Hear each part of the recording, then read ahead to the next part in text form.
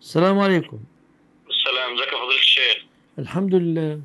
رب تكون بخير. يا رب وإياك. عندي سؤال يا تفضل.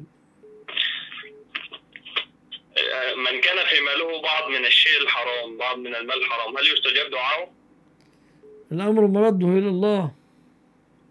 أمره مرده إلى الله. آه.